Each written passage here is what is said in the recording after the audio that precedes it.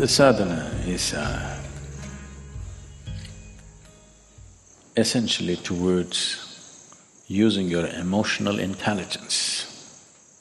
When we say emotional intelligence, today it's being identified in the world. For a long time, we thought intelligence means just IQ. See, this is not a… IQ means I stand in the queue.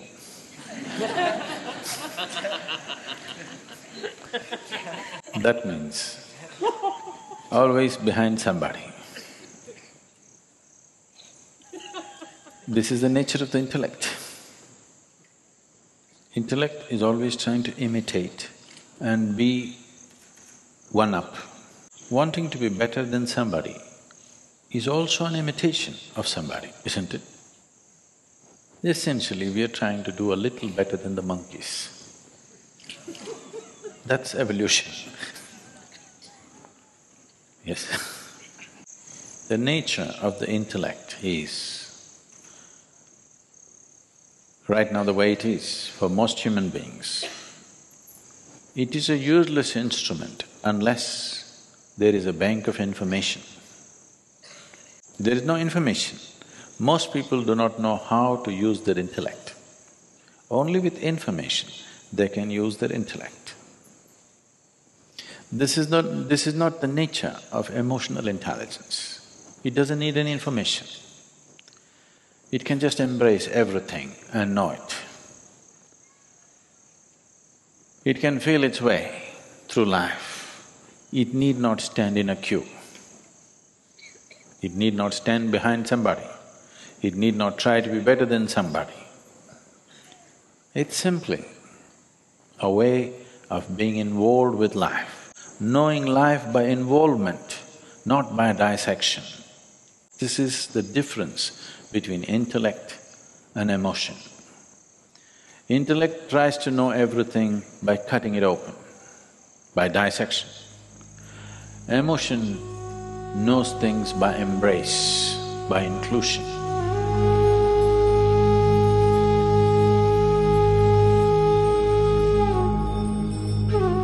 So the sadhana is essentially to heighten your emotional intelligence because it's so much of a easier way of doing things. If you want to dissect the ultimate, if you want to dissect the divine, that's not a good thing and you won't get anywhere with it. The best way is to embrace. When you embrace somebody, you're also allowing yourself to be embraced. Otherwise it'll not happen. Only I will embrace you you cannot embrace me. It doesn't work like that. When I embrace, I am also embraced. So this is a way of embracing the divine rather than dissecting the divine. So sadhana is essentially about this.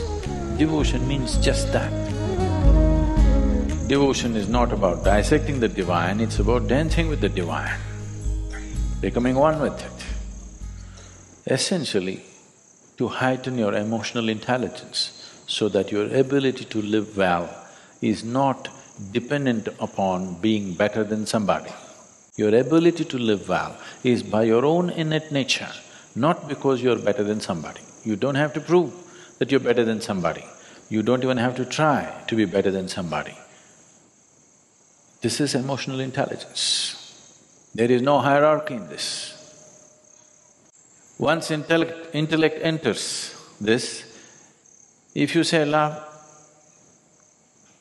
who loves most? there is no such thing. Do I love Dhyanalinga more or you love Dhyanalinga more? Do I love this turtle more or you love this turtle more?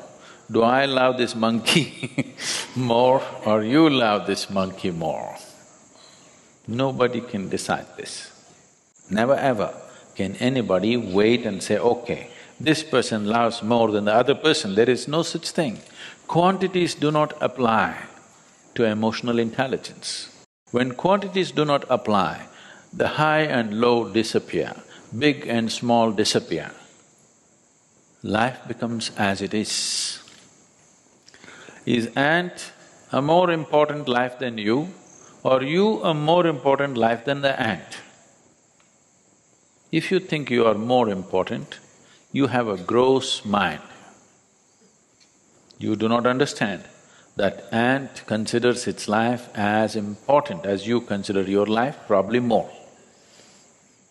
He's got more limbs than you, probably doing more useful things, he's more organized than you, we don't know what else. Probably their population is more. If you give them the voting rights, they would win, hands down. So, intellect is always trying to set one thing against the other. It is your intellect which has created conflict. It is your emotion which can bring this together. But if emotion follows intellect, emotion will also will become a deadly conflict. If your intellect follows the emotion, then there would be no conflict, there would be sweetness in the world, there would be wonderful situations in the world. So the sadhana is essentially oriented towards that. It's a simple structure, but if you give yourself, it does miraculous things to you.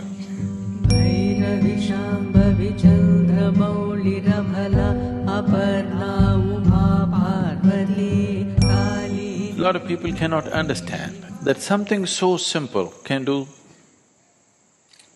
something like this to a human being because they dissect it and see. If I dissect you and see, let us say you are a great singer. Wow, you sing so well, let me see what is in your vocal cords. And I will dissect your vocal cords and look in, I will not find any music because that is not the way life works.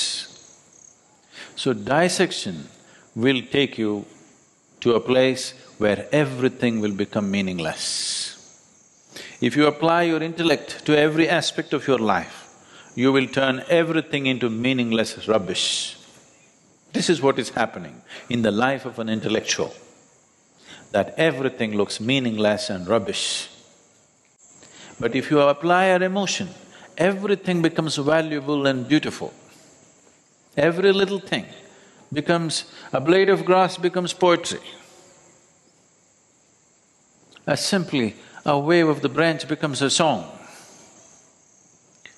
But if you apply your intellect, everything can be reduced to rubbish. Everything becomes no good. If you apply your emotion, everything becomes great.